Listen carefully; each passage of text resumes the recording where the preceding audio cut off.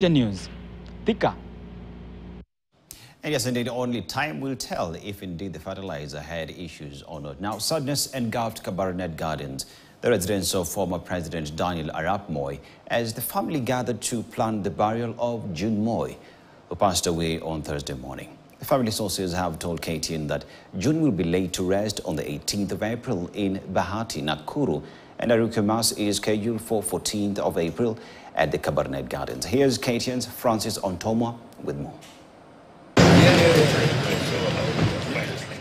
The usual serene ambience of Kabarnet Gardens was for a moment tinged with sorrow. Guests from various walks of life, including top political figures and businessmen, began arriving early in the morning to mourn the loss of a woman described as a pillar of strength for the Moi family. June Moi died on Thursday morning at the Nairobi hospital after a short illness. The demise of our sister June Moi hit us with a lot of surprise because we didn't know, nobody knew that she was unwell. And so um, we want to take this opportunity to pass our deepest condolences to the entire Moi family at this most difficult time and to give them our assurances that we are with them, we'll stand with them. June's elder brother and former Rongai Member of Parliament, Raymond Moi, reminisced their close ties growing up. When I was in the US, when I was studying in the US, when I had completed my studies, June then came to the US. She was in Boston, I think, for about for undergrad for four years. Then she went to Canada for a year and a half, two years for her master's in psychology. So she was she was a fun person to be with. So we enjoyed that.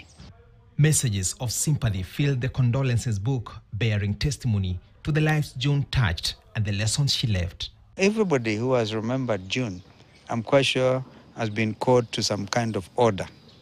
That there is life beyond politics.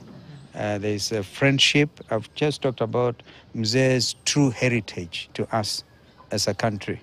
Yeah, that we should love each other. Remember his philosophy that time.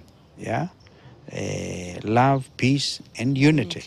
Fondly remembered for her exuberance, June began her education at Nairobi Primary School Kilimani, Kenya High School, and Loreto Msongari.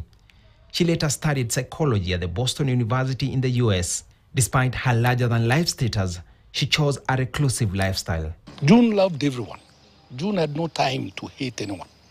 June did not have time to say, This is my enemy, or, you know, you have. She would not. She, she, she enjoyed the company of all people. She died at the age of 60 and left behind a daughter, Paula Jepkemboi. Francis Ontomwa, KTN News, Nairobi. And our thoughts and prayers goes to the family.